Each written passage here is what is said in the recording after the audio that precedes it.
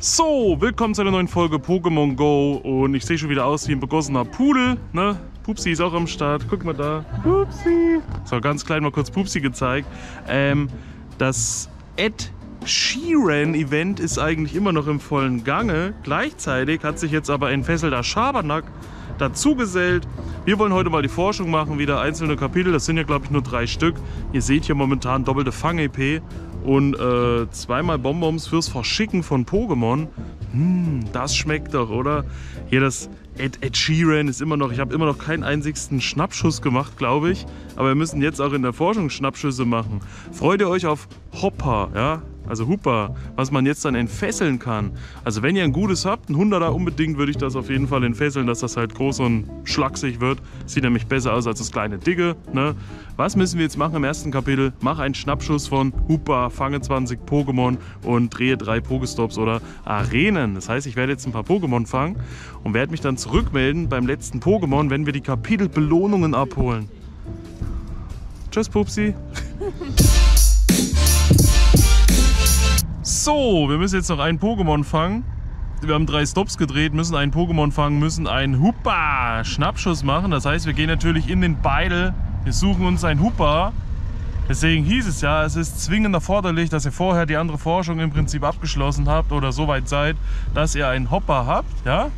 Dann geht ihr nämlich rein, macht einen Schnappschuss vom Hopper.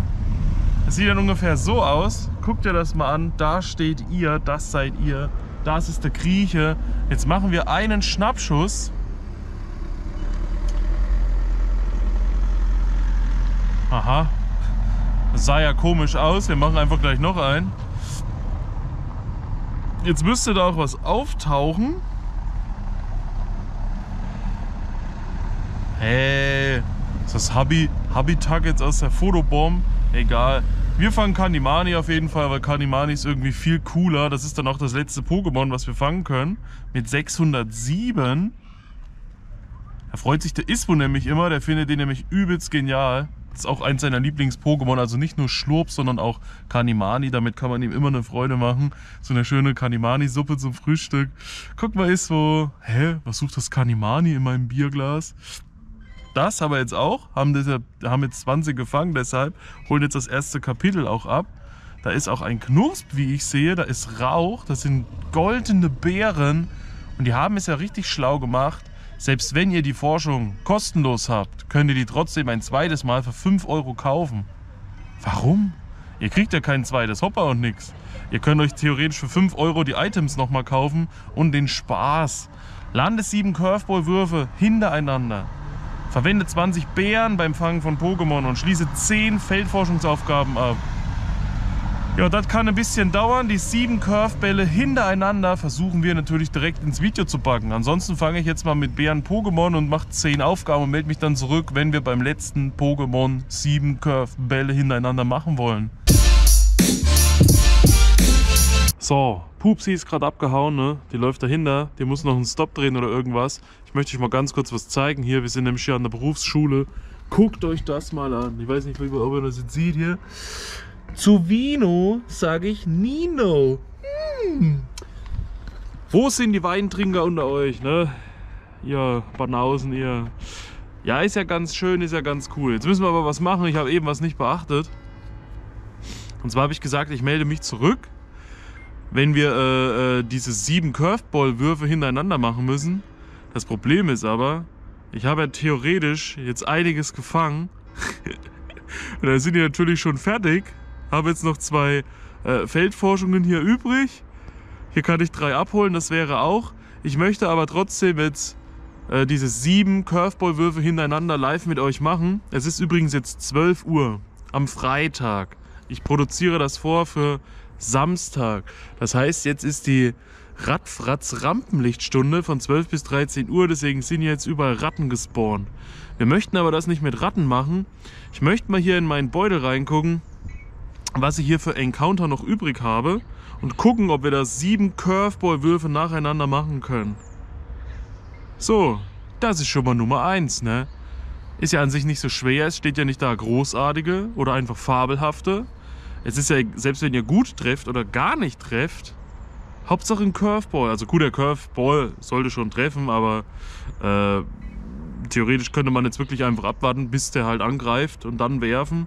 Am Anfang ist das noch nicht so wild, ne? Da geht es ja noch um nichts, das ist der zweite. Aber ansonsten warten, bis er angreift und wenn er angreift, dann direkt draufwerfen und dann kann er den nicht abwehren und dann ist diese sieben hintereinander eigentlich gar kein Problem, da es ja eben keine anderen Anforderungen gibt. So, komischerweise sind hier nur Skalyk drin, was auch total ruhig einfach da sitzt und sein Zeug macht. Das war Pupsi. Das dritte Skalyk hintereinander, ist das nicht cool? Vielleicht hätte ich die dann mal bewerten sollen. Vielleicht ist da sogar noch ein Hunderter dabei. Vier brauchen wir jetzt noch. Wir gehen also wieder drauf. Wir sammeln das nächste. Der ist gehüpft.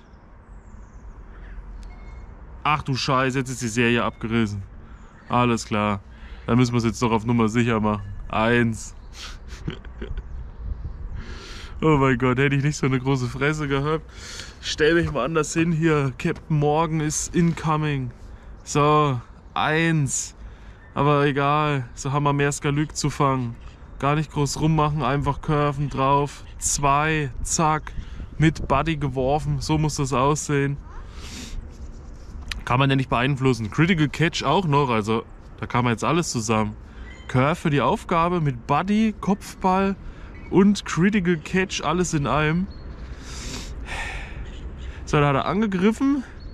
Das heißt, wir können curven. Habt ihr das gesehen? Das ist perfekt. So müsst ihr das machen. Sah zwar jetzt nicht so sauber aus, war auch nicht in den Kreis geworfen, aber Hauptsache der Curve hat gepasst. Das ist also Nummer 3. Weiterhin Skalyk. Im Endeffekt ist noch ein Shiny dabei, oder was? Noch ein Skalyk. Wir warten wieder, bis er angreift. Er hüpft. Er hüpft. Er hüpft. Er hüpft. Er hüpft. Ob er nochmal hüpft? So, er greift an. Wir curven also. Zack, kein Problem. Das ist Nummer 4. Drei Stück noch.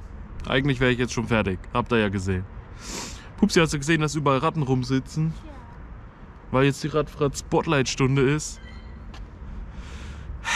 Meiner Meinung nach eigentlich pff, kann man darauf verzichten. Weiß nicht. Radfratz. Wer das Shiny noch braucht vielleicht, haben auch einige gefragt, ob das dann Alola Shiny ist, was da kommt, aber äh, Alola Radfratz ist es nicht, es ist halt das ganz normale, einfach. Also für Shiny-Suche vielleicht cool, ansonsten, wer ein 100er braucht für die Sammlung, aber Radfratz ist jetzt halt nicht so der Bringer. Da ist es morgen natürlich schon anders, wenn Sobiris kommt. Zum Sternstaub farmen wäre Zobiris natürlich eine feine Sache. 750 pro Pokémon nimmt man gerne mit. Nimmt man gerne mit. Sonntag dann Pikachu, finde ich dann auch eigentlich wieder langweilig. Aber Montag Tarnel für alle wäre das Beste. Aber ist ja dann wieder in der Woche zu einer blöden Zeit. Also werden wohl auch die wenigsten dann das zocken können. Das war jetzt der fünfte. Jetzt brauchen wir noch zwei.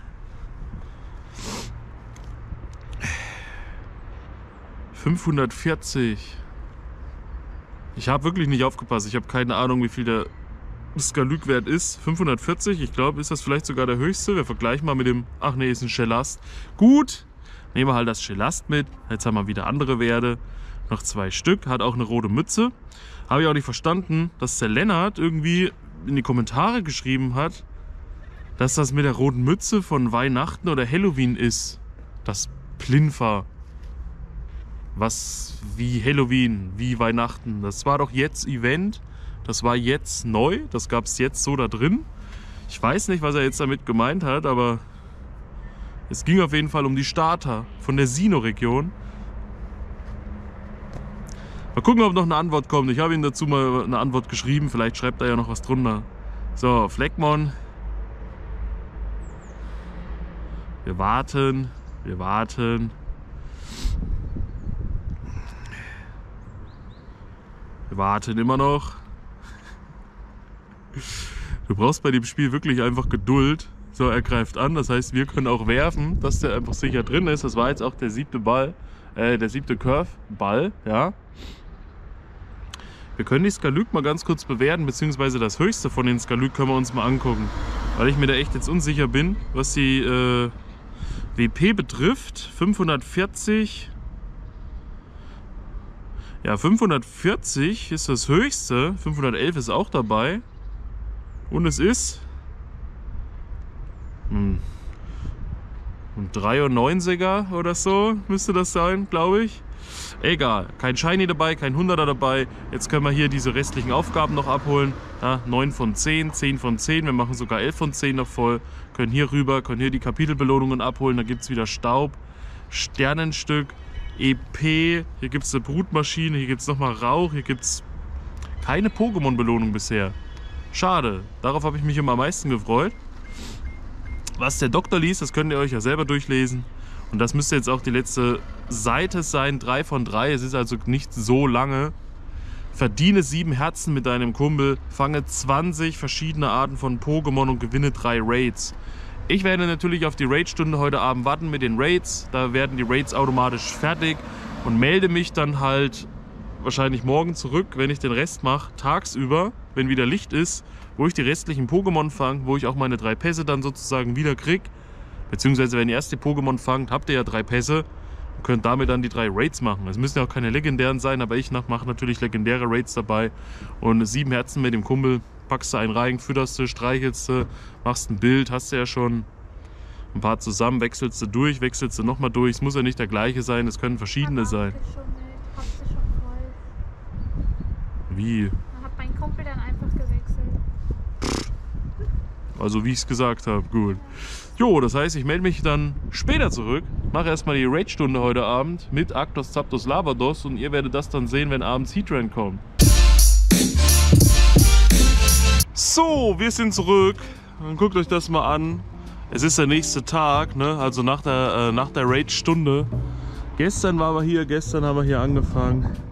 Heute sind wir da. Und irgendwie, ja, sieht alles anders aus. Es ist ein bisschen weiß geworden, sage ich mal. Es ist jetzt mitten hier um, wie spät ist es denn? Es ist 7.50 Uhr. Äh, die Pläne haben sich schon wieder alle geändert. Eigentlich erst so, dann so, dann so, keine Ahnung. Jetzt habe ich gestern also gewartet, bis die Raid-Stunde um ist, damit ich diese drei Raids gemacht habe. Habe ich jetzt gemacht. Und jetzt sind die Aufgaben eigentlich auch schon fertig. Man musste sieben Herzen noch verdienen. Mit dem Buddy, das muss ich euch aber jetzt nicht zeigen. Ich meine, Ihr nehmt da einfach einen rein, ihr füttert den, ihr spielt mit dem, ihr, äh, ihr könnt mit dem kämpfen kurz. Dann wechselt ihr halt auf den nächsten, macht das Ganze nochmal irgendwie.